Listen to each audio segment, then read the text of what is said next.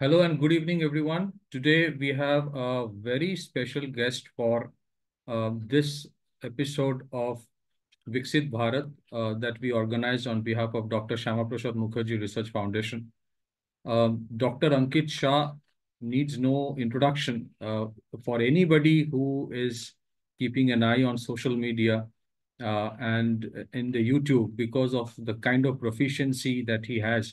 I must say one thing. My name is Pathik come on television very frequently, but if there is one person whom I listen to with reverence, uh, it is Ankit ji.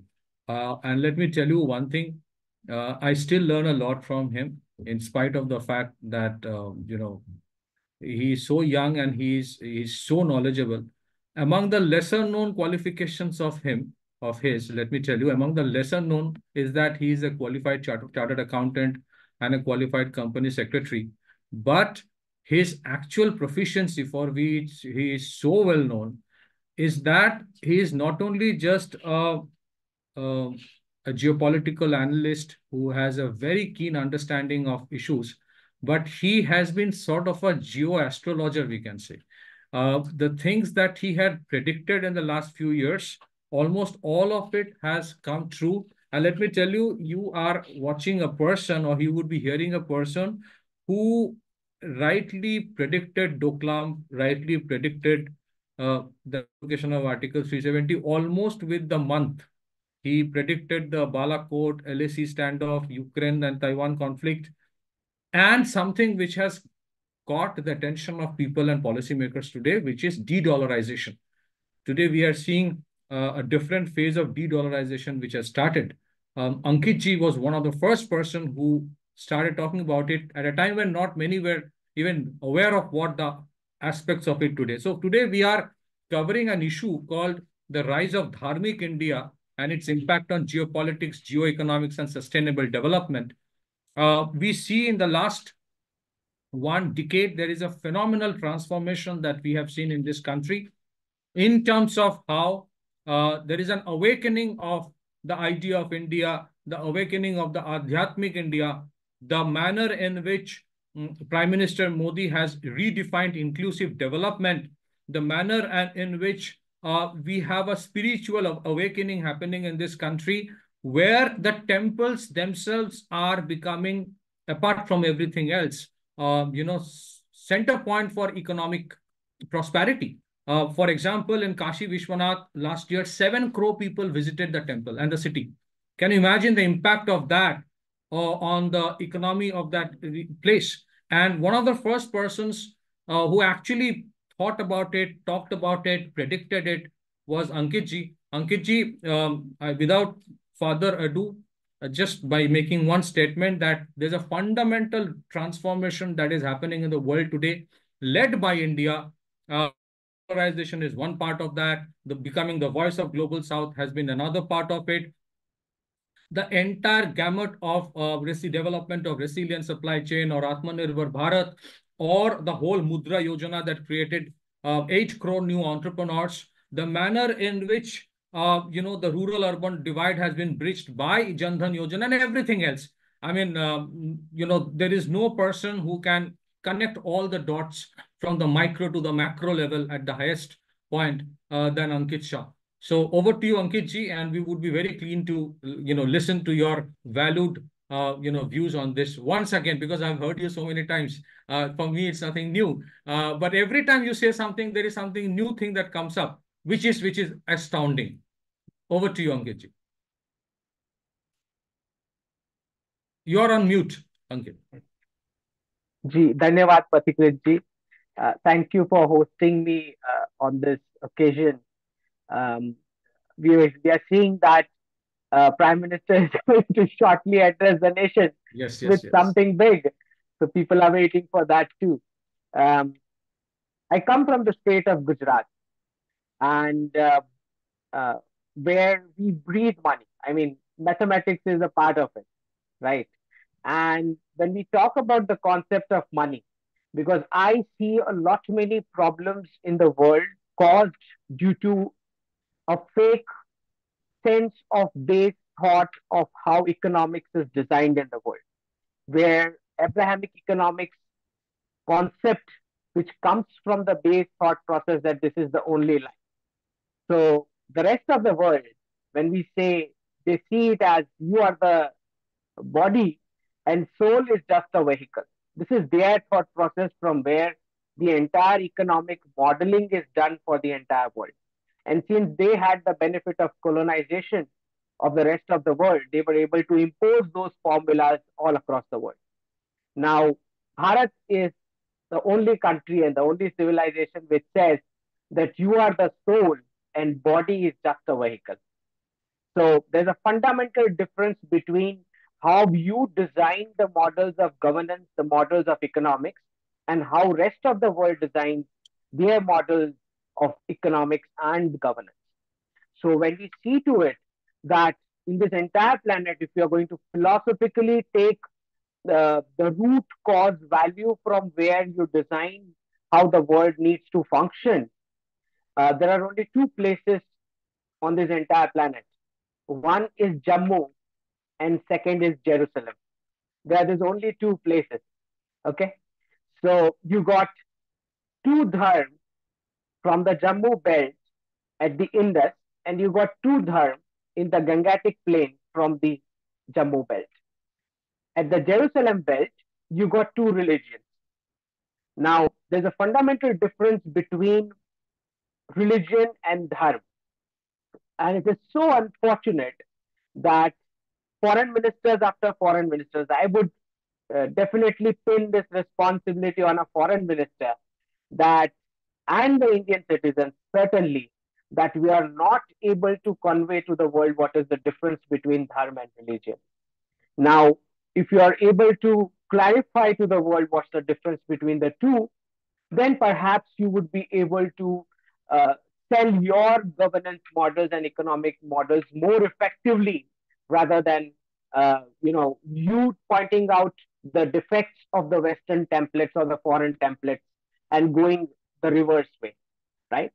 So uh, which i say is the re-emergence of sanatan economics model. So the rise of dharma today's topic when we say rise of dharma what do we mean? It has two important components. One one is the re-emergence of Sanatan economics, and second is the re-emergence of the power of Asia in the global order. These are the two important elements which needs to go hand in hand to complement the Vikasit Bharat 2047, the vision which the Prime Minister has, and the vision for the entire world, because I believe that it is the rise of Dharma which will be a global force of good on this planet where we will be able to cut out the ill effects of extreme capitalism with the concept of dharma, and we will be able to cut out the extreme concepts of communism with the concept of karma. So, dharma and karma, these are the balancing, uh, bring this entire lopsided uh, governance and the economic models which came from foreign templates and bring it back to the Sanatan economics model. So when we say that uh, you are the soul and body is just a vehicle, now what that translates into in your day-to-day life in terms of governance? It translates into working on the man factor of production and putting the man factor of production at the center of every governance and policy or the economic models that you design. So when we see some of the uh, uh, value factors which were uh, written by Pandit Dindayal ji in integral humanism, we find those elements mentioned over there.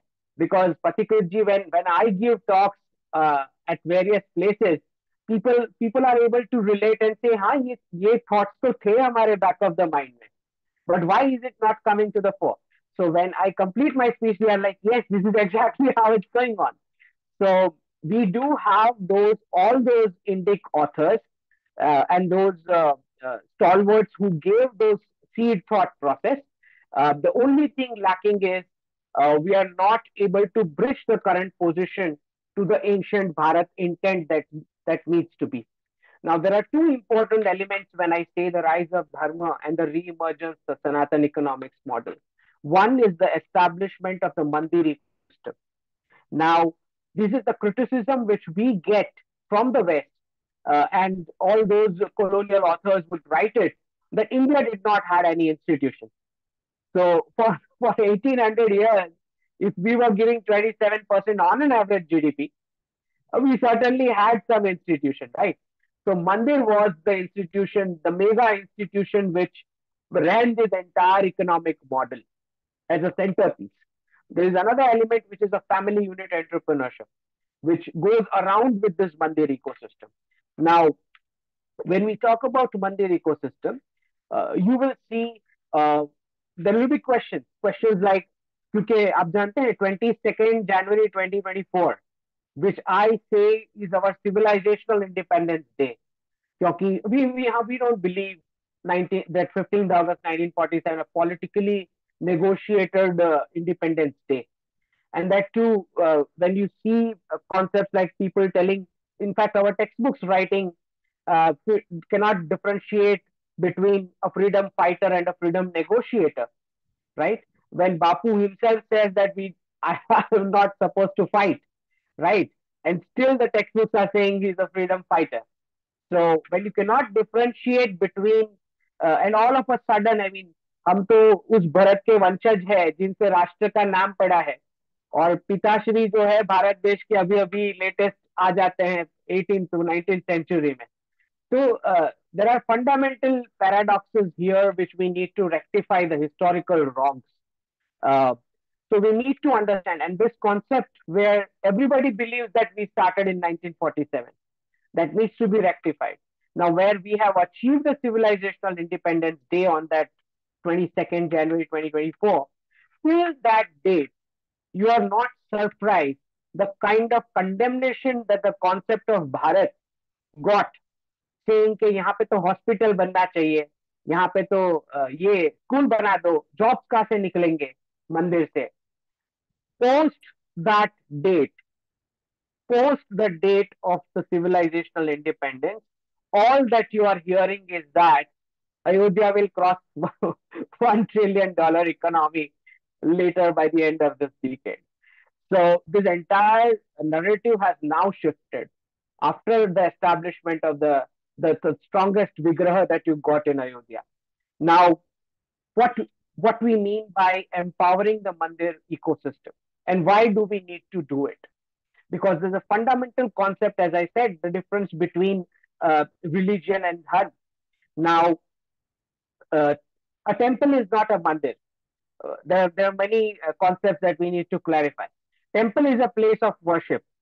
Mandir is a place where you elevate your inner self. Now, mandirs have been university campuses, center for feeding prasad, food, uh, uh, research, medicine, and all the uh, the yatras that used to happen between ancient mandirs were student faculty exchange and research programs. Each mandir had several represented by which Bhagwan's Pran Pratishta is done over there. Similarly, uh, you know, uh, when you see, uh, see, the difference between religion and dharma, religion is a set of organized system based on beliefs in a god or gods. These systems often culminate into non-acceptance of existence of any other gods or dharmas.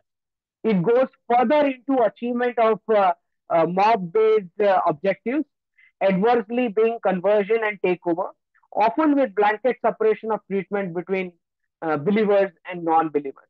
Now, this comes from the Adesh philosophy of strict commandments uh, to define someone is a believer or not. On the contrary, Indian dharmas are all about individual seeking of liberation. Now, the seeking is for the individual to decide based on his own interpretations and capacities. Now, the dharmas come from the Updesh philosophy of recommendation. There's a fundamental difference between an Adesh philosophy and an Updesh philosophy. The four Indian dharmas, all encompassing living, non-living, entire universe, you can tell the dharma of water. You can tell the dharma of fire. You can't spell out for religion, right? Uh, similarly, you find there's a huge difference. Our concepts are not prayer and worship what we have is puja, anushthan, yajna, or arti. They are completely different from prayer and worship. The word prayer has its uh, root asking material things and asking forgiveness of the sins. And most probably, the sins are carried out against the non-believers, and you get a discount discount from those religions of foreign origin for conducting those things. So it's very different. Prayer can be done anywhere in a temple, in front of a teacher, or in a court of law. That is also called a prayer. Puja, Anushthan, Yajna, Arti, all these are completely different from prayer and worship, which is why I always believe that the places of worship act is void ab initio because this is not a place of worship. Now, the, in Dharma, there are specific sampradayas where you can ask for material things, and that, that is where the concept of Kul Devi and Kul Devta comes, where you can be asking, uh, you know, or uh, seeking uh, material objectives. But overall, the concept of dharma is talking about individual liberation, where you cannot be asking material things. Now, again, God is not a Bhagwan. There, there is no concept, there's no concept of God in Indian dharma. Indian is about seeking the supreme values represented by the Bhagwan. Indian Bhagwans aren't some forces which exist at some unknown place like gods of religion. Indian dharmas point out that the element of supreme is within each of us and everywhere. So we do not have, we do not come from this God follower concept of worship. Religion is about being, believing life. Dharma is, is talking about a karma fearing life. Fundamentally different concepts. Religions believe in concept of one life, as I said, whereas dharmas believe in the life cycles based on your past and current karma. Similarly, idol is not murti. Idol can be of anyone, can be put up anywhere. You can have a poster or idol of a politician, of a sportsman, of a scientist, uh, and so on. Now, what we do in mandirs is not idol worship.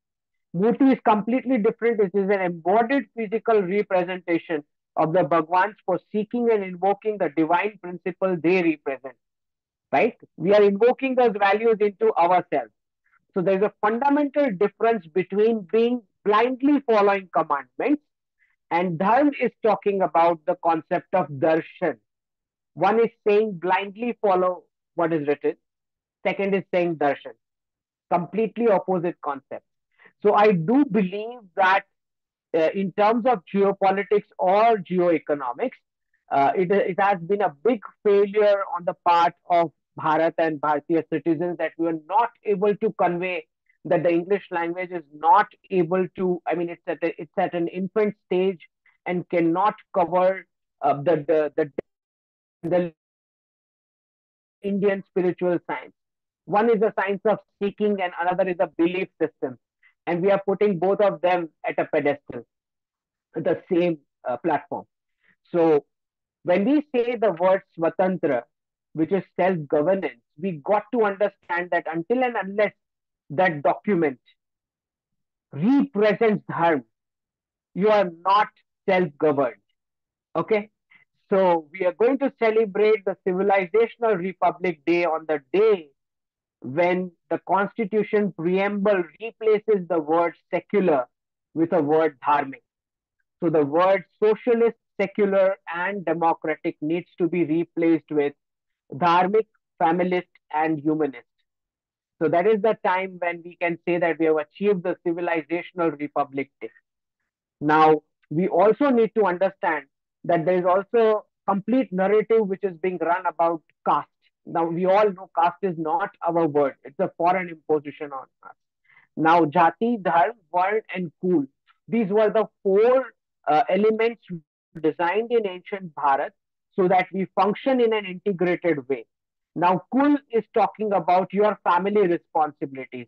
Jati is talking about your community responsibilities. Dharm is talking about your responsibility towards your individual liberation. And one is talking about your occupational responsibilities. Now, there cannot be any human being on this planet who is not going to have his family responsibilities, not going to have his community responsibilities, not going to have his work responsibilities. So as soon as you minus out Jati, Dharm and Kula, the society that you are going to get is a vokist society totally irresponsible and completely dependent on the state on freebies. So all those countries who have destroyed their kul duties, jati duties, and varna duties, they get zombie population with one cat and dog as a family and completely dependent on a state. Now you cannot have macroeconomic principles designed in a fashion where you are a permanent in a position of uh, charity driven or a freebies driven state. That is, that cannot be a permanent position for any country to run. Okay. So we got to understand that even the West today, after experimenting all this stuff, they have come up with their, their doctors now prescribe family time. Their doctors now prescribe uh, community health centers. They are building community groups now because they have seen the consequences of removing kul jati, and varna responsibilities out of the society. Okay, so we need to understand that this uh, ancient Bharat model integrated science of seeking depends on this four wheel. The car is runs on this four wheel. You cannot cherry pick and say, I'll pick dharm and then I'm going to remove all other responsibilities. That's not how it happens. Okay. And, and you have this disease uh, among many experts who immediately want to become modern and just so that they sound modern, which they relate with Westernism, they'll say, let's remove all the old things without even understanding why those old things were built. Now, when we talk about uh, caste as a Western word imposed on us, where the word originated, the occupation of the people was tagged by their surnames, even there. So blacksmith, barber, potter, tailor, you still have those surnames, right? So these these were these were the methodologies with which you were able to locate those specific skills. That is how it used to be. Now we are not going to say that this discrimination is something which Hindu Dharma brought about. Say, for example, somebody is a watchman, still discriminated in the sense the CEO is not going to greet him like he's going to greet another CEO. Now, are you going to put this discrimination on Hindu Dharma? It's happening in all offices across the world, even today, right? So we got to understand that there are multiple population 140 crore plus, one single incident happening somewhere, and and especially I've seen this narrative happening immediately after the Ram Mandir, because the world realizes, especially those uh, those elements who are anti-national in nature, that if India is able to establish the Mandir ecosystem, there is going to be a lot of lot of geopolitical tremors in terms of the economic heft that we are going to build if that happens. So all of them started doing the narrative, anti-Brahmin narrative and whatnot, exactly at that point in time when uh, the Ram Mandir uh, event came. So we got to understand that all four Indian dharma, Indian origin dharma, we also got to understand the concept of a convert and also understand the concept of what it means by religion of foreign origin. There has to be absolutely no doubt about the fact that each and every Bharatiya citizen has, has got that DNA, that eyes, nose, skin, face, height, color, everything comes from Prabhu Sri Ram, irrespective of how much uh, fancy name they put on themselves from a, adopting from a foreign country or, or a fancy dress that they put on themselves.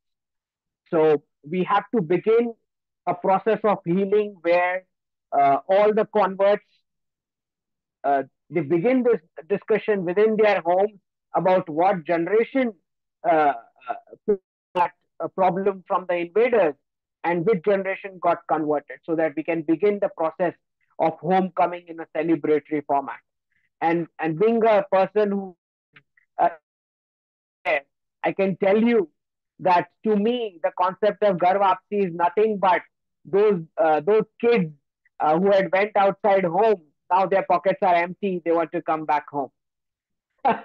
This is what my definition of ghar wapsi is. So, so Ankit, if i can if i can ask you a question how do you see the uh, you know the world being transformed or the impact of today's india like from the era of fragile five in 2013 to be among the major five by 2023 and this entire passion driven uh, you know the passion surrounding the whole concept of awakening of, of the sanatani roots.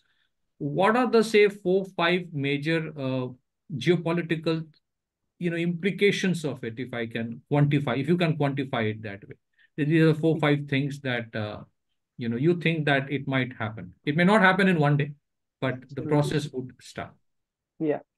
So so one of the themes which i see as the implication of the rise of dharma is the the theme based on which what is going on in terms of de-dollarization de-radicalization de-communism decolonization and demissionarization this is the first theme of implication that we see along with the rise of dharma now, this has much to do with the concept of money. Why it has to do with the concept of money? Because 400 years back, the starting point of the single country reserve currency format, which began with the establishment of the East India Company at the Surat port, okay, that is the starting point of imposition of pound as a single country reserve currency. Now, humanity has seen uh, the usage of barter for trade for thousands of years where one family unit or a community unit has to produce an end product or a service in order to exchange other. Now, what happens with that barter? No overproduction, no underproduction, no inflation, no unemployment, and no exploitation of natural resources. From there, we went to gold and silver as precious metals, which I believe is Sanatan. Gold is Sanatan because that is the real currency, is what I understand. From there, the kings and the queens used to put their faces on those coins uh, so that people understand that this is a currency. Uh, every time they want to bring a financial reset, they would withdraw those gold and silver coins and issue cheaper metal coins. That is how the monarchs used to amass wealth. So one thing is very clear that in order to bring a financial reset in the world, uh, the basic step is collection of physical gold and silver. Now, from there, we went to a paper mode of currency where uh, it was said that uh, so and so amount of currency would be uh, representing some ounce of gold or silver. And from there, finally, in 1971, President Nixon comes and says, no more gold convertibility. Okay, so now all the currencies of the world becomes fiat since 1971 totally printed out of thin air. So this entire journey of geoeconomics is based on the Abrahamic thought process of only one life, consumption model. If this is my, if I am the body, I need to consume everything in this life. So what happens with the Abrahamic economic models? You deploy women uh, for temporary GDP as a unit of labor. This began with the British colonialism, where they put up classroom systems so that human beings are put up into four walls for 15 long years, completely unaware of the market reality. Is a job to do.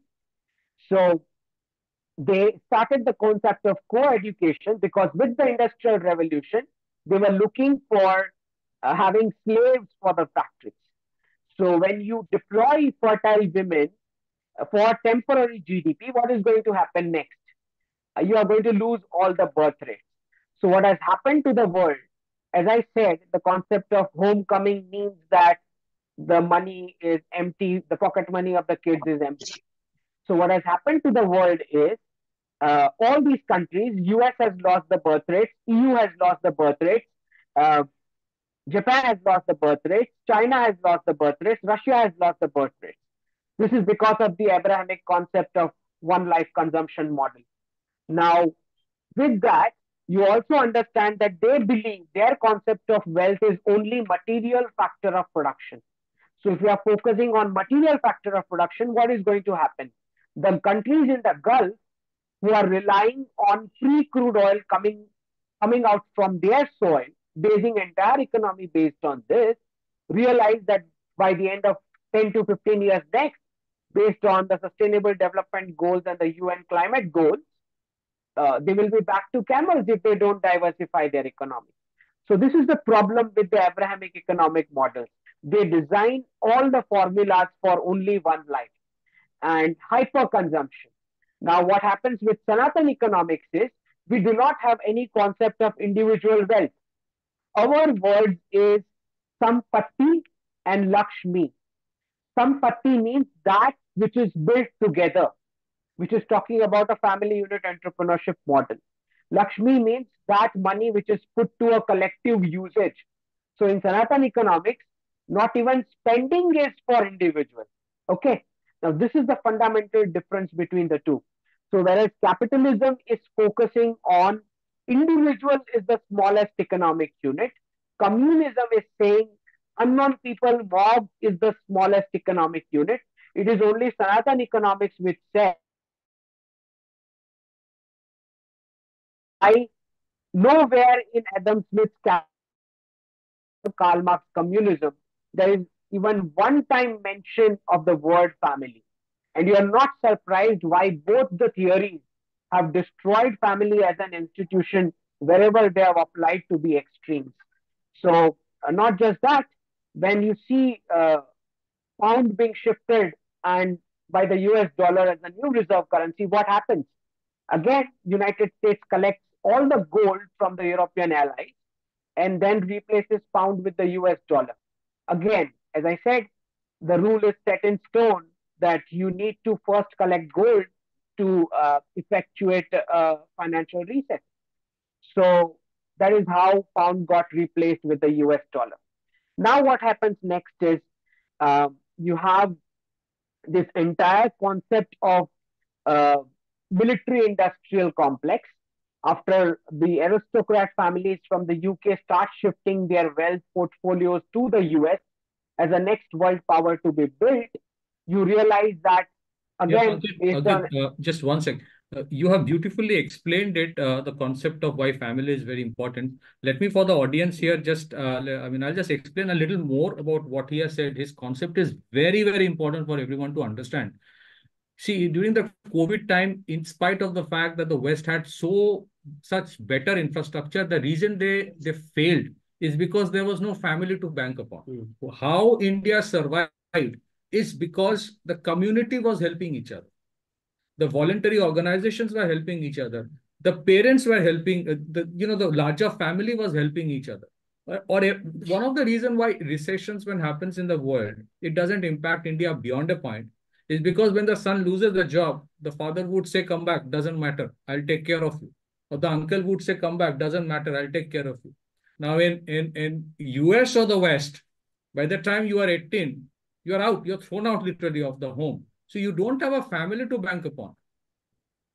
Now, even if you go and say that, uh, you know, that, um, you know, how many siblings you have, and you say, sir, three or four, they'll, they'll ask from the same mother and same father. That is the question that is asked there. So, and if you see the number, so for a country like United States, which is which is which has the largest GDP in the world, the largest, largest, one of the largest per capita income. Why does it happen that in that country people will go at the age of 20, go to a kindergarten or a college with an assault rifle and shoot to death 20 odd people? What is lacking there? So why, and that's what Ankit is saying, that you live with 20 dogs, 50 assault rifles, you have no family to bank upon, you have no sense of responsibility towards the society, towards the larger family, towards the community, towards the neighborhood. You just consume and eventually you are so frustrated, you move, move towards narcotics. And then you have nothing left in life. Your entire life is based on just consumption and watching video games. You become self-destructive.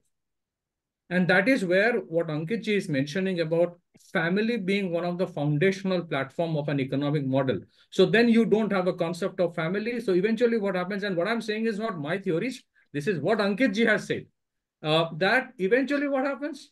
Uh, you know, these, uh, so you, you don't have a family, you have a one life consumption model as has been propounded by Ankit ji. So then your population starts declining. When the population starts declining, you start bringing in immigrants.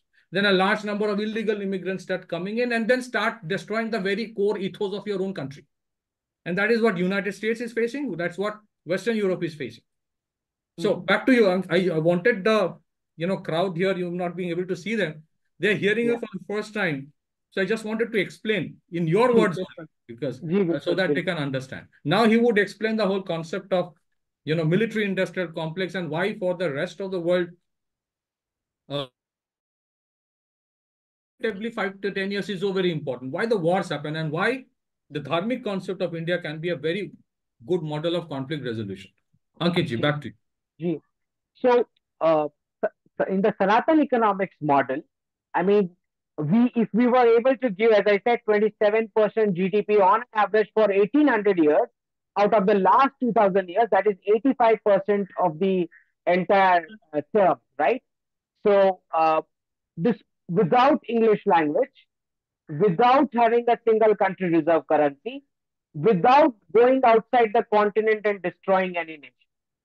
That is the Sanatan economics model because we focus on, on improving the man factor of production, whereas in the Abrahamic economics, there is no concept of working on the man factor of production because there are commandments based on which you believe there is nothing for me to improve because I'm already following what the God said. Uh, what what needs to be changed is the rest of the world. So they come up with words like war economy. They join the word war with economy. They come up with the words like gun culture, gun plus culture. Okay? Because they feel that what they are doing, being God, God chosen people, they're already following the commandment. So they can never be wrong. So what they are improving is the other factors of production, not the manufacturer of production. Whereas Sanatan economics, in fact, if each each one of us know that Indian parents, if you if you just uh, magnify and see as a kid, uh, अगर आप मार खा के आए हो तो भी आपको ही डांटेंगे और मार के आए हो किसी को तो भी आपको ही डांटेंगे वो because it comes from this Sanatan economics model कि हमको तो मैन्युफैक्चर ऑफ प्रोडक्शन पे ही वर्क करना है okay So because that is what sustainable is. Now, what happens with these economies, as I said, they focus on material factor of production. Uh, they built this uh, military industrial complex where they have turned entire geopolitics into mob-based culture, mob objectives. There are only two groups. One is a group of democratic nations, so to speak. Another is a group of communist nations, and both groups need to clash. And you are being told you can you, are, you can join only one group. You cannot be at both the places. This is what Jaishankar ji is constantly answering them uh, because he's constantly posed with that question. So we need to understand that they come from this Abrahamic standpoint that geopolitics as well is according to them a mob and mob has specific objectives. Mob has specific beliefs and mob uh, and countries need to be converted and brought into that group. So this concept of conversion is also brought into geopolitics. Okay. So this is what India is denying. Bharat says, no, boss, that's not what we are going to do.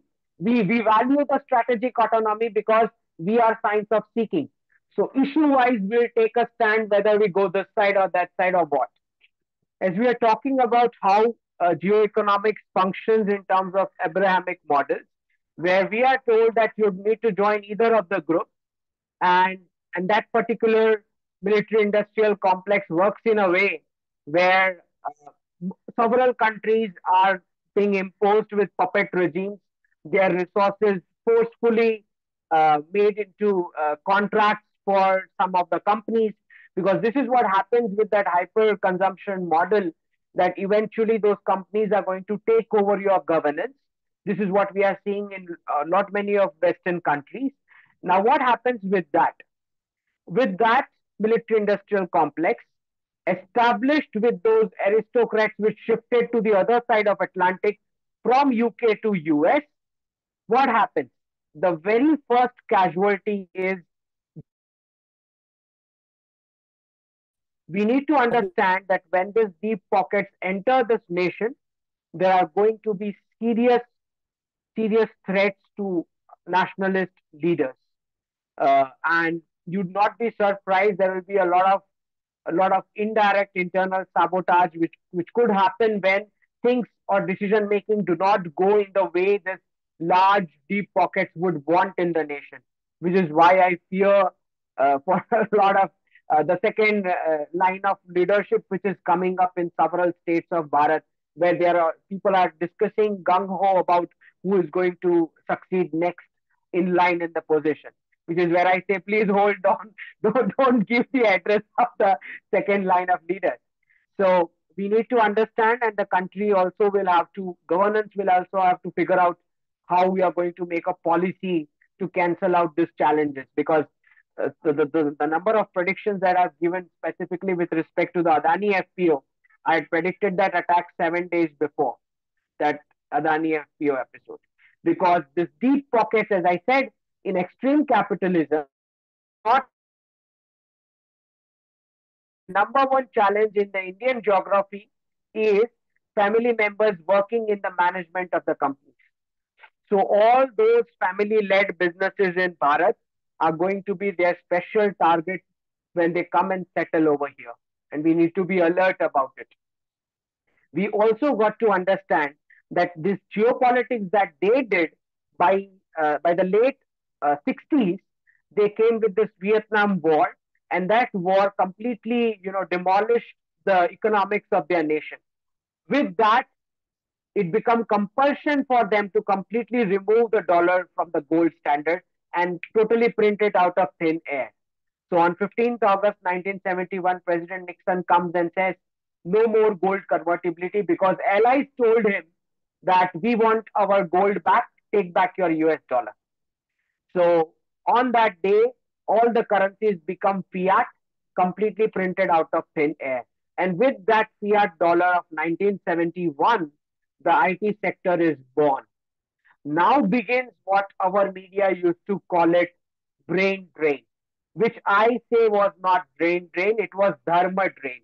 According to me, the NRIs are successful in foreign countries not because they were intelligent. The NRIs were successful in those countries because their concept of handling finance comes from Sanatan economics model, which is we are going to take care of the aged parents and we are going to take care of our responsibility for the next generation. At least they finish their education. Whereas in the West, uh, by the time they come to their classroom, two, three parents have already changed. Okay. So NRIs are successful because their concept of handling finance comes from Sanatan. It is not taught in some Abrahamic Western classroom or their Abrahamic friend circle of this concept of saving model life. Okay, so one, if you if I'm to give one word of difference between religion and dharma, religion is consumption and dharma is preservation. That's the one word of difference between the two. So Uh, we got to understand what happened with that 1971 fiat dollar attracting the talent from Bharat over there was actually the dharm drain the benefit of which these economies had in the West. Now it is unfortunate that when that narrative went on about Hindu rate of growth, I could not find a single NRI countering and saying, hey boss, we are the Hindu rate of growth. What are you even talking? Okay. So this is what is lacking that this the slavery and colonial mindset, this is what it does. Now, by 1973, uh, Kissinger goes to Saudi Arabia. They send, they sign a oil for petrol, oil for security program. The entire crude oil for the entire Gulf to be sold in US dollar. Now, what happens with this single country reserve currency model? What happens is, say, suppose there are five friends who go to a hotel and say, uh, let's trade. I'm going to pay the bill in US dollar. The American friend says so. Everyone is happy. They say, okay, go karne do pay. After some time, the American friend says, whatever trade that we do in between us, let us do in US dollar. Everyone says yes.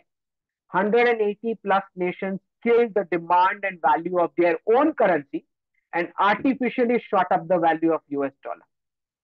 Now, two of the nations say we are working 12, 14 hours. We are still not able to earn the dollars to do any kind of trade, even with my neighbor. The American friend says, I'm going to put up two institutions. You go and take dollar loans from them. So IMF and World Bank. Now, when you go for loans from them, what happens? There are a list of political uh, and defense and foreign policy compulsions that you will have to do along with the interest rate that you have to pay for those loans. Now, one or two more friends says, no, we are not going, we are still not okay with it. What happens next? One is Saddam Hussein and second is Gaddafi of Libya. You know what? Now, with this 1973 petrodollar, what happens? The entire clothing of Saudi Arabia women turns black. All of a sudden. What happens next? Both the sides of the roads of the Indian highways is bought by a single community. What happens next? You have Salim Javed script coming in Bollywood with that petrodollar. Now, no longer Bollywood heroes need to keep Hindu names to survive in Bollywood. What happens next?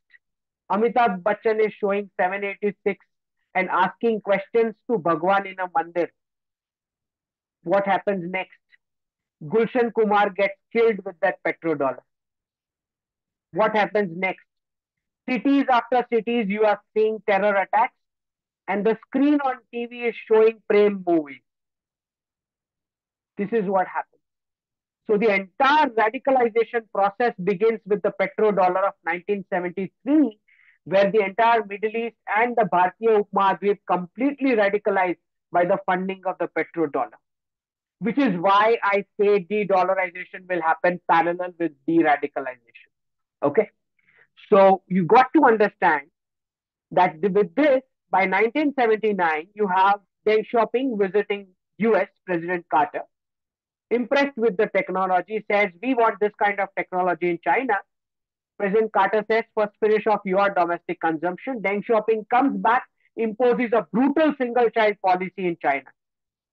America starts passing the technology to become the global manufacturing giant that it becomes and opens up the gateway of the endless printing machine with the Wall Street finance at a low rate of interest to China. With this, China starts becoming the manufacturing giant. By the by the late 90s, the entire reserve currency bubble in the American because artificially taking up the dollar.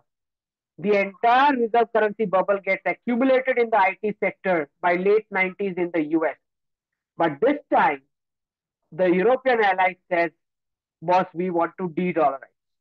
They launch a currency called euro, and US drags the NATO for a Yugoslavia war to bring the value of euro down.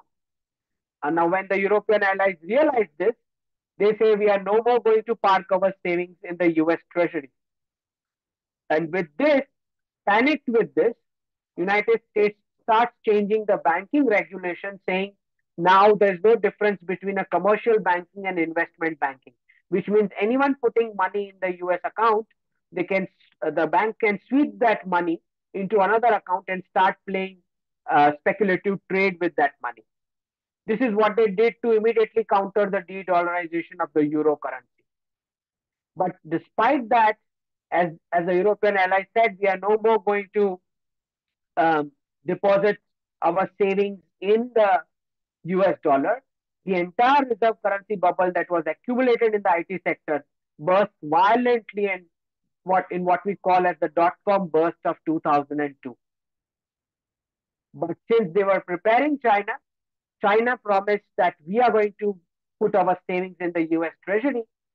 So instead of the European ally, and US brings them in the World Trade Organization, giving them all the benefits of membership of the World Trade Organization, and it be starts becoming the export giant that it became. But by 2008, what happens is they've completely destroyed family as an institution in the West. They got 60%, 50% divorce rates in the entire West because the role of the father is of the dollar, the role of the kids is of the dollar. Uh, kids, uh, parents throw their kids out by the age of 16 um, because the state is going to sponsor with that endless printing machine the Medicare and the retirement benefits, right? Uh, the kids get loans in one two percent, so they also leave the parents' home. So by the by by that 2008, that crisis. This time again to bring the U.S. economy out of the crisis, they again print endless dollars. But what is the change this time?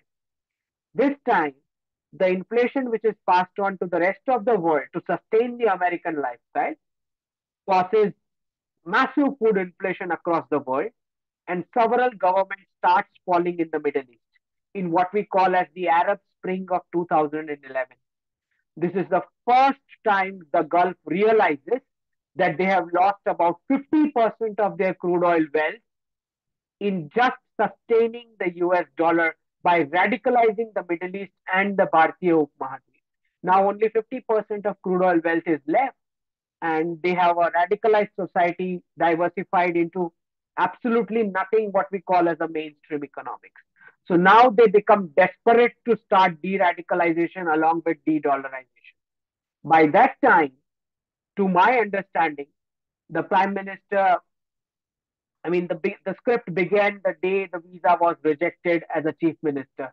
The very day prime minister said that I'm going to line up Americans for visas here.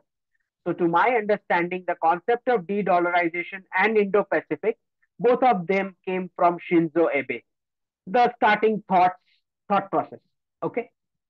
So Japan becomes the partner country of the state of Gujarat. We begin the Vibrant Gujarat Summit. After five, six summits, we were ready with the Gujarat model and the prime minister becomes prime minister in 2014. Now, this is the exact opportunity the Gulf was looking for to find an international partner to begin the de-radicalization process.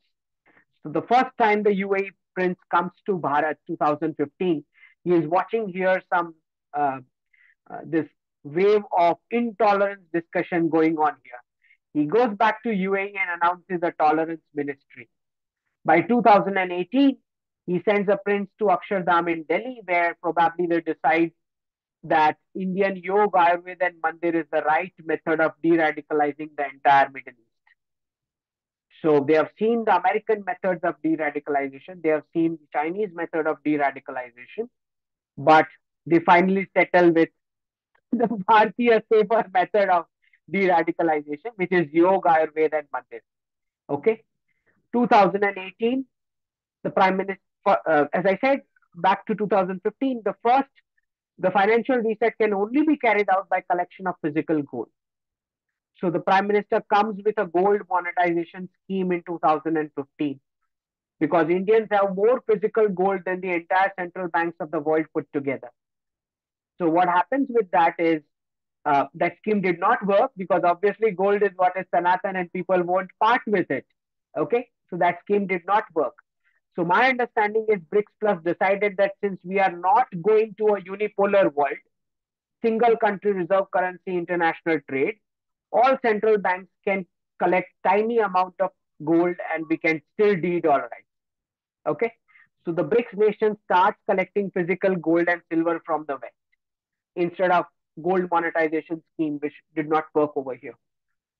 Now the Prime Minister says no more multilateral trade pacts will only sign bilateral free trade agreements because it is very easy to flip out of the US dollar trade because you just have to negotiate with one person when the right time comes. So all the countries are line up, they negotiate a, a bilateral free trade agreement, and then you see uh, the trade moves on. So this entire, and then you see Rupee and UPI card also coming in. 2018, the first time Bharat offers China to do a yuan rupee trade. At that time, Xi Jinping denies it. I think he, that was the term when he just got into uh, the Central Military Commission. So probably not that powerful like he is right now. But he rejected that idea back then. But during COVID, Xi Jinping realized that after working for 40 long years for the world, they made only 3 trillion in reserves whereas United States distributed about 14 trillion dollars just during COVID to Americans for free. One for 14 trillion. This is the point of realization for Xi Jinping to align on the de-dollarization process, which is why you saw by November 2022, uh, the only two members of the powerful Politburo who were pro-exports got removed. One was Li Keqiang, the premier, and second was Wang Yang. And after that, we have the news that Li Keqiang has died as well. So there were only two leaders who were pro-exports and got removed. So with that, China also aligns on the de-dollarization process. Now they tried for three long years digital yuan, it did not work. Uh, and since nobody wants a unipolar world, neither any of the four countries, I believe, US, Russia, China, or Bharat, has the strength to give a unipolar single country world. So I believe all of them have compromised with BRICS Plus. So by the time BRICS Plus comes up with some new formula of the financial reset, till then, I believe US economy is moving towards shifting a chunk of that US dollar into the uh, Bitcoin private crypto where they have approved the ETFs for that purpose until BRICS Plus comes up with the new formula. So the, some of the predictions which I've given is that you'll see a complete, a big chunk of wrap up of the IT and the banking sector in the West in the coming 18 months, which is what I've predicted. Now, some of the predictions which I've also given, as I said, Mandir ecosystem will be from Saudi Arabia this side to Laos, Cambodia on the other side. So you should be surprised if in few years you find Prime Minister Modi doing Pran Pratishtha in Saudi Arabia. Because as I say, Kaaba and Somnath falls in the same line and length. The Temple Mount uh, in Israel and Kedarnath falls in the same line and length.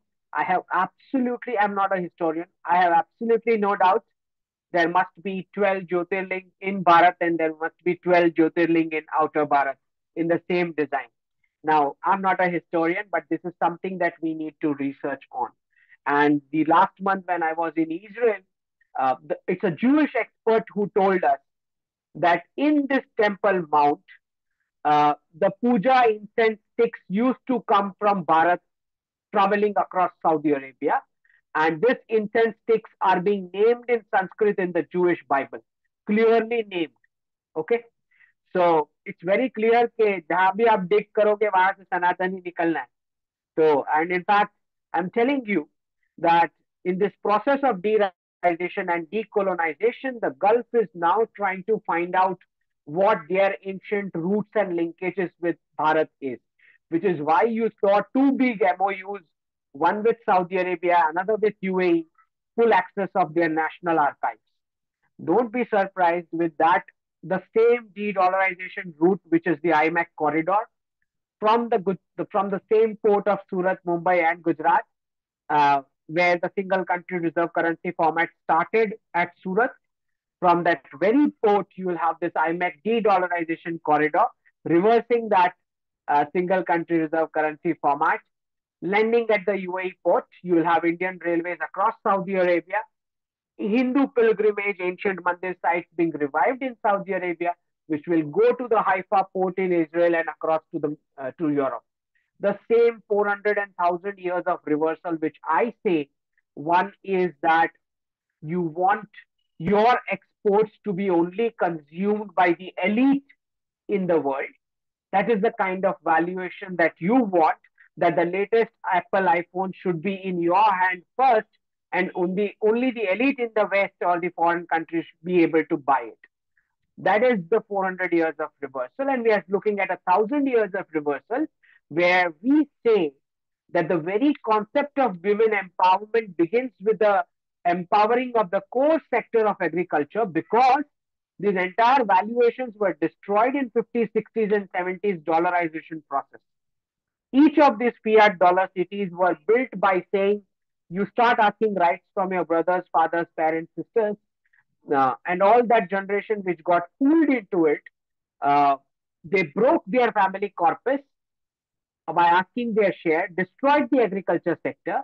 They came and built those, these urban centers based on Western template, handed over this corpus to companies, and they themselves became jobbers.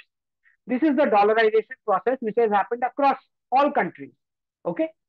So all those fiat dollar cities which are built by destroying the valuation of the core sectors with the de-dollarization process, those core sectors are going to come back to the real valuations, which means that uh, this very word of agriculture settlement, which is which is the derivation of the word marriage, where you ask uh, to settle hua to settle hui, that comes from agriculture settlement because women empowerment began with the discovery of agriculture, saying the concept of monogamy that you have to work on this piece of land and uh, build a family over there, which is why humanity shifted from polygamy to monogamy.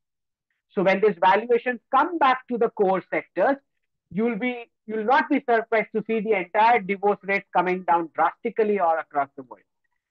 So uh, my understanding is the financial reset that we are moving towards, uh, once the currency gets pegged, because what I'm seeing is we are moving into a world where China plus 10 in manufacturing, because it was the torture of the Chinese citizens that the rest of the world were enjoying democracy, freedom, right, dance, art, culture, and whatnot, weekend off and whatnot. So now, as China is aligned on that de-dollarization process, you will find China plus 10 in manufacturing, plus 10 in currencies, and US plus 10 in defense as well. Because now the responsibility will be on each of the regional powers to impart the security to the trade routes. Because US will no more be in a position to do the uh, security provision all across the globe. Okay. So we are seeing part of it in the Red Sea area where, you know, India in, unilaterally has deployed almost a dozen ships, but is not part of that Prosperity Guardian alliance of United States. True, true. So uh, as we move towards, as I say, this process of the process of decolonization means that when I'm going to sit on a bilateral with a China, with the Chinese foreign minister, what I need is to see that each and every mandir is revived within China. Now, what happens with that de-dollarization process is a huge amount of their manufacturing sector is going to be hit because they are over capacity. Because as we know in this lopsided unipolar world, entire manufacturing was with China. And the entire printing of currency used to happen in the West. So as we move towards the multipolar world, uh, the services sector and the manufacturing sector, specifically in China, is going to be hit, which means a lot of unemployment coming back to the family unit entrepreneurship. So, as a bilateral with China, the relation that I would want is hey, you are going to reverse 1965 cultural revolution, which means whatever dharmic practices which were India influenced within China and whatever linkages with ancient Bharat, you are going to put it in full public display. And second is the reversal of 1979, which means you are going to split manufacturing with Russia, Bharat, and remaining nations. You're not going to have an overcapacitated manufacturing. Similarly, in the Middle East, as we move towards the de-radicalization process, eventually you should be surprised uh, if you see uh, as each of these Rafales fly, uh, you know, flew through UAE, and the UAE Air Force did a mid-air refueling for those. I won't be surprised in a few years if it's 100% interoperable with the Indian Air Force. So I see a subsuming of the UAE Air Force with the Bharatiya Air Force. I see a subsuming of the Saudi National Combat with the Bharatiya Army. And I see a subsuming of Iranian Navy with the Bharatiya Navy in terms of 100% interoperability going through the next three decades. This is what how I look at it. And the predictions that I've given is UAE is going to be the first Hindu country Saudi Arabia, Jewish majority, and Iran, a Christian majority by 2040. Uh, I have many predictions. I mean, this is the one which is relevant over here. Very interesting. Um, and it's, it's, it's uh, mind-boggling to take so much in one session. Uh, my only question, and I'll just ask the audience, uh, of most of the audience here are very young people. Uh, uh, I'll just ask you one question. Do you see any, because I don't think the established powerhouses would let it go that way uh, even though it's inevitable. Do you see any major conflict coming up somewhere? Uh, we see a lot of conflicts happening in silos, but any major thing concerning India or anything uh, that well, might uh, be worried, worrying us? Well, uh, these four conflicts which are predicted are very clear. That is Ukraine, Taiwan, POK, and Iran, Israel. Because these were artificial hotspots created to just keep the single country reserve currency status going pound and then dollar. Okay.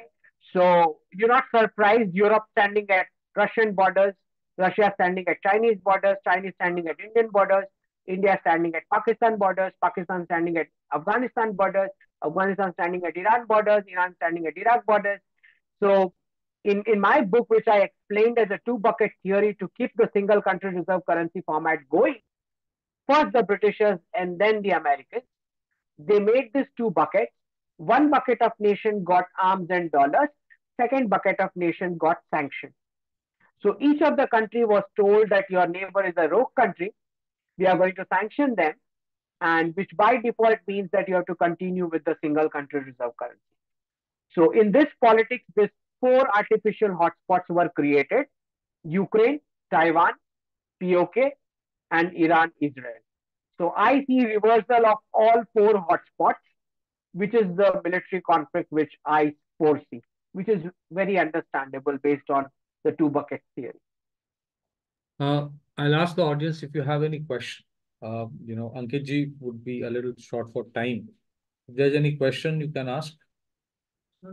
Uh, you can just ask the question. I'll try, tell it to him because we don't have that option today. Of, uh, yeah. Myself, Ankit Singh from Jamia Millia I'm an international relations student. So recently, in November 2023, at World Hindu Congress, Hyland Film says that world peace can be established only through Hindu values. Yes. So, so Ankit, you could get that question? Sir, yeah, I, I, I want to complete. Yeah, yeah. Okay. So why we can't have Sanatan or Vedic centers abroad just like China is promoting the Chinese civilizational yeah. culture through Confucius centers. Yeah. So his question is, should we not have these uh, Vedic centers um, across the world? In fact, in one of the meetings in a place which I cannot name here, that was one of the suggestions that we had given. And I'm sure in due course of time, uh, I think Ankit will agree that much like the Confucius Institute concept that the Chinese came up with, uh, we might see the Vedic centers or uh, being uh, institutionalized. Yeah, yeah. I'll, I'll like to give a little bit of background here. Yes. Because there's a it's it's very unfortunate that we we as a civilization have to borrow the word superpower from the West because they are very young. They're just infant nations, just 500 years old. Okay. Now understand the difference between the concept of superpower and the concept of Vishwaguru. Superpower means that uh, your foreign minister, when he visits some nation, the bombers are flying from the top and he is negotiating. So this is the concept of domination. This is the concept of hard power. This is a concept of imposition of policies on nations. The concept of Vishwaguru is totally opposite. The concept of Vishwaguru comes, the word guru comes from the one who takes you from uh, darkness to light. So the Vishwaguru concept is about all those nations coming to you and asking कि गुरुजी आप हमको बताएं policies में हम क्या rectify करें it's complete different. One is a domination and imposition and second is the science of seeking that you want to guide. Now based on the patrata of the disciple the guru will decide how much to disseminate and how much to teach. Now as per this question that is what is asked i would say that uh, we are yet to reach that position. It's, it's going to take 2047 because first you have to show that economic might, first you have to reach that economic might before countries come to you asking for your guidance. Uh, in your region, certainly Bhutan, Nepal, Sri Lanka, Bangladesh, these nations might come for that uh, that kind of guidance seeking process. But to become a Vishwa Guru, it's going to take 2047. Now, the institutions that we need to build, certainly, but my understanding is there is one blip, and that is the crusades that will happen in Europe. So my understanding is uh, Bharat is rightly placed uh, to get into that crusade and solve their problem if we are able to bring that science of seeking across Europe when that crusades will be ongoing. I don't think before crusades we have any interest to get into that but we do have we have to prepare our geopolitical assets uh, in numbers that they are able to go there and uh, help them out. So we have Sadhguru with us, we have Sri Sri with us, we have Ramdev ji with us, we have Nita Ambani with us. These are our geopolitical, geoeconomic assets. But we need them to be in large numbers enough so that we can offer something like the concept of Bharat for you, what Bharat can do for you, which is what the Prime Minister says, the Vishwamitra concept. Uh, any other question? Yes. Ah. Uh, thank you, sir. You have beautifully explained that what is the difference Uh, Speak between a little louder. uh, difference between uh, dharma and religion, but uh, there is a uh, two more terms uh, which is more confusing to me, sir. And that is uh, what is difference between Sanatan Dharma and Hinduism? And sir, Hmm. uh, one more question is that uh, is yoga is uh, uh, interrelated or related with any religion? That how we can see yoga is uh, Hmm. is it related to with context to any religion or no? So uh, first we have to understand that you do not mix the concept. There's a big difference, as I explained, between religion of foreign origin and dharma. One is one is a belief system, and second is science of seeking. Now, science of seeking involves questioning, which is why your entire literature is about people questioning each other. Okay, and that is the nature of a uh, Indian citizen as well. Now, in religion, you have to first become an atheist if you want to become a scientist. But in dharma, all our gurus were scientists because it is based on the science of seeking and questioning already. That's a natural order. So when you say that yoga, whether it is uh, related to some religion, it is not related to religion. It is 100% religi- related to dharma. Okay? Because it is about the inner engineering of your of the human body, which is where we say that we are working on the man factor of production. We don't focus on the material factor of production. Okay? Similarly, uh, the next question, the first question what you asked was dif- Sanatan Dharma and uh, Hinduism. Hinduism. Okay. Now, understand one thing. Uh, when all those people who came searching for us, they came searching for us because, uh, again, the, the, the narrative is Sone ki chidiya. When they say Sone ki chidiya, understood that we were wealthy, but the word chidiya comes from the derivation of कि इसका कब्जा किया जा सकता है which is why I say कि we need to focus on सोने का शेर, not सोने की चिड़िया. Now, when we say that uh, they come searching for us, what they had in their hand was geographical description of what India looks like.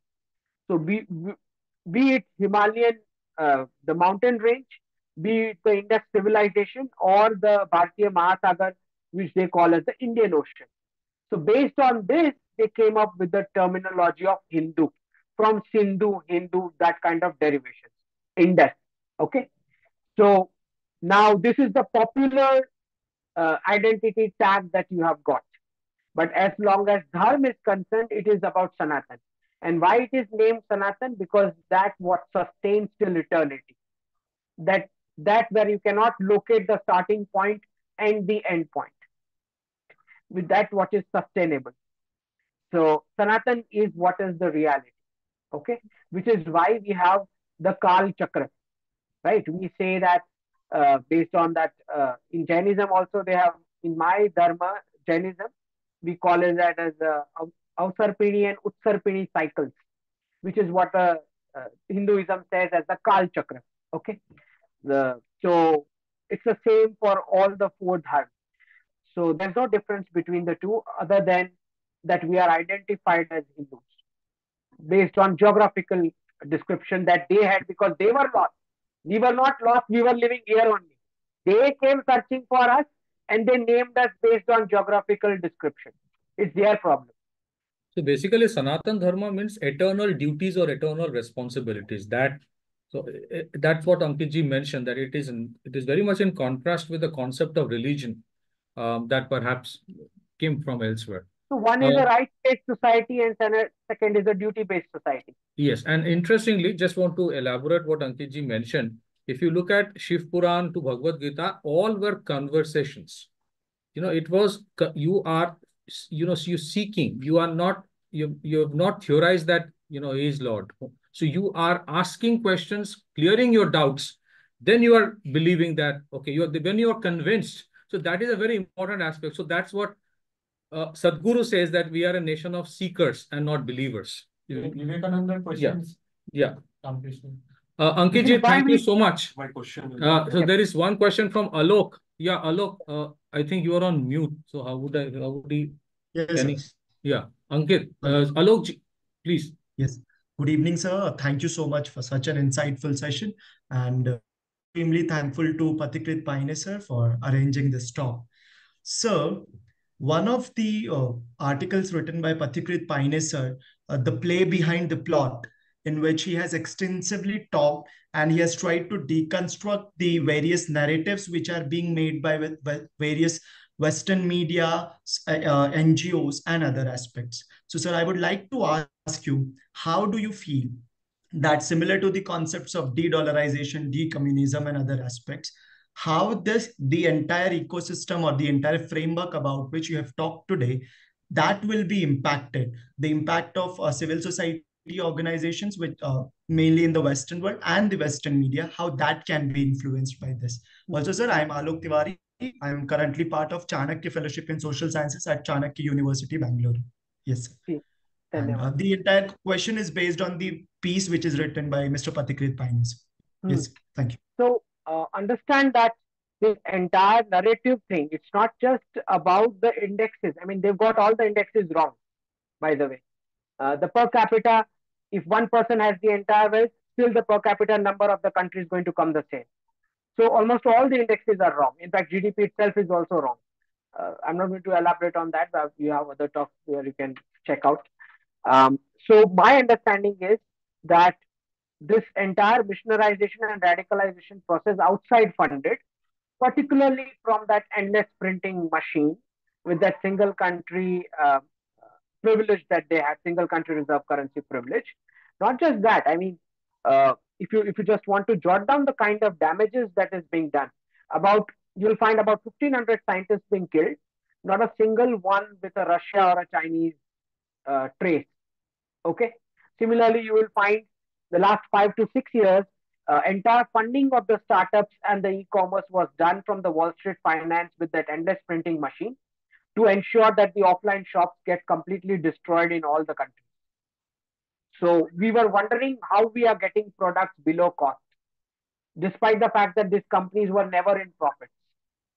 So you can understand the kind of damage. This was not just NGO conversion and there were multiple facets to this endless printing machine because offline shops have this fixed of salary that electricity bill the shop that they have the fixed assets that they have to buy. Okay? So this entire uh, printing machine has done a lot of damage. They took our entire merit to the it sector uh, made them do coolie tasks. So someone who's a mechanical engineer still joining it sector because they are getting that uh, us or maybe a little lesser than US level pay scale. So they ensured that the entire talent was lured uh, to the IT sector. The other sectors got destroyed in terms of giving any productivity, patents, or innovation. Whereas they had the printing machine to their businessmen, they were able to give 1%, 2% rate loans, which is why they were able to do Google and Amazon and Apple and whatnot.